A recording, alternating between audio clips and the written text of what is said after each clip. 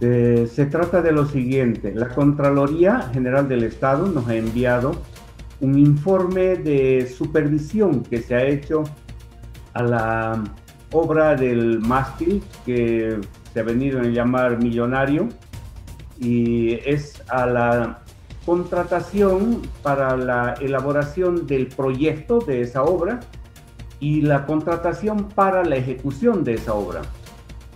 Hay varias este, irregularidades. La primera es de que esta obra no guarda concordancia con el pilar 2 de la agenda patriótica dice en el proyecto de que esta obra se alinea en, en el pilar 2 y el pilar 2 está referido a servicios básicos, vivienda para toda la población.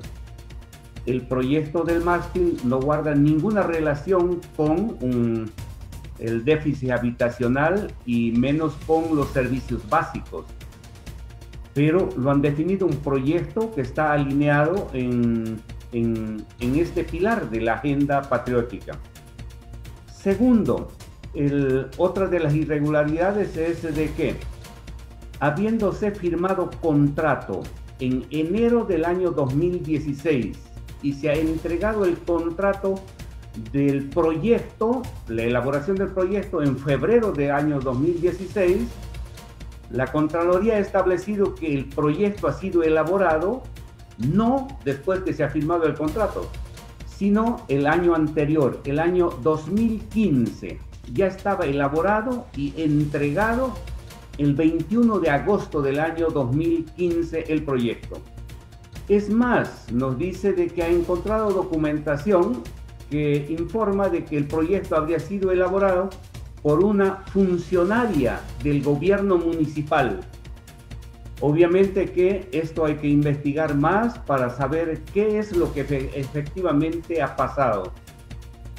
En el punto 3 dice de que el precio referencial que se ha establecido de un poco más de 5 millones de bolivianos no tiene información este, objetiva, información comparable, confiable y suficiente para determinar de que ese era el precio correcto.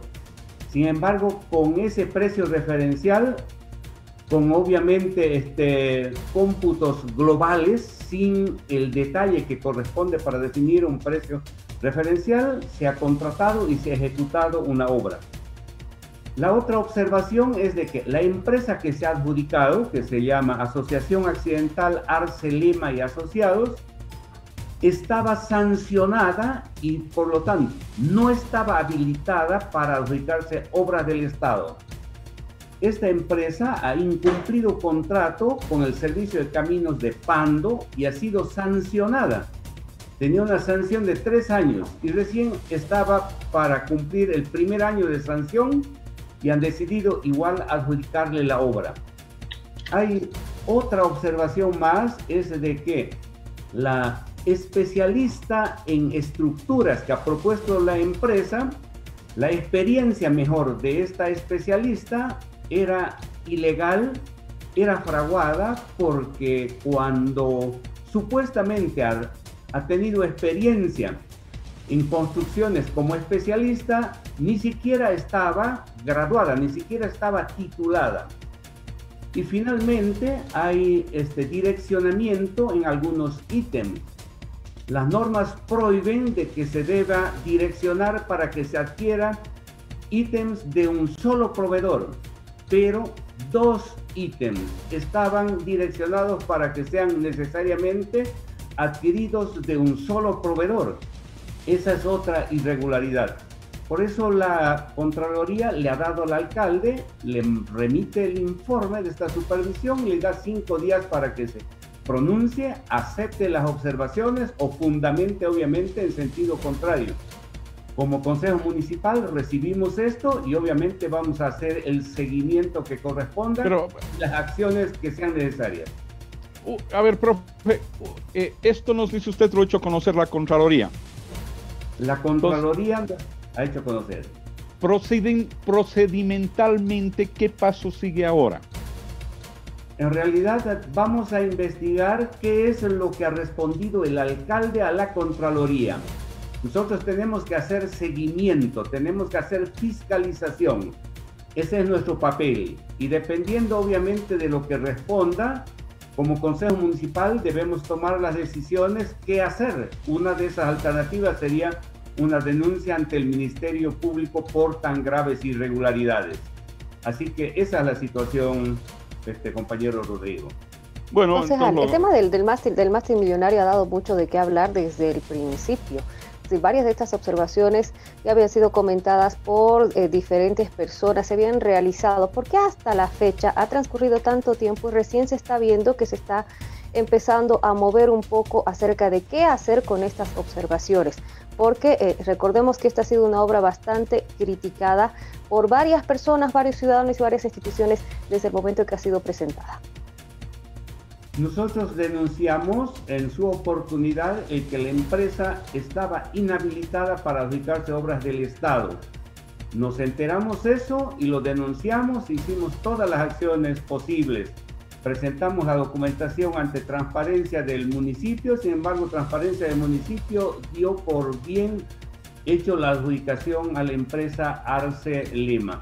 Hicimos todas las acciones posibles porque esto está ubicado en el distrito 7 y paradójicamente es uno de los distritos donde más déficit de servicios básicos, más concretamente agua tiene, y sin embargo han alineado este proyecto para justificarlo como si fuera un proyecto relacionado con el déficit habitacional y de los servicios básicos. Yo le informo de que en cuando se estaba empezando esta obra visité el distrito 7 del barrio Los Chapacos al otro lado y la gente vino y yo les pregunté cuáles son sus necesidades. Me dijeron que era agua. ¿Dónde viven ustedes? Me indicaron allá arriba vivimos. Pero no se puede vivir sin agua. ¿Cómo hacen? Dice, nosotros aquí abajo hay una pileta pública. De ahí vamos a traernos el agua. ¿Cómo lo subimos? En carretilla. Hacia arriba suben el agua. Y decía, hay, una, hay un tanque de cosal que está en la parte más alta. Ese tanque, cuando le hacen aseo, lo limpian, lo lavan. Nosotros vamos a agarrarnos esta agüita para nuestros animales. Y cuando no está muy sucia esa agua, a veces no sale muy sucia, también lo utilizamos para nosotros bañarnos, para nosotros lavarnos. Imagínense en la situación y sin embargo el alcalde ha construido un obra que no correspondía para nada a las necesidades de la gente y menos donde la ha alineado, que era para tener que reducir el déficit habitacional y de servicios básicos. Esa es la justificación que ha utilizado este, para realizar esta obra.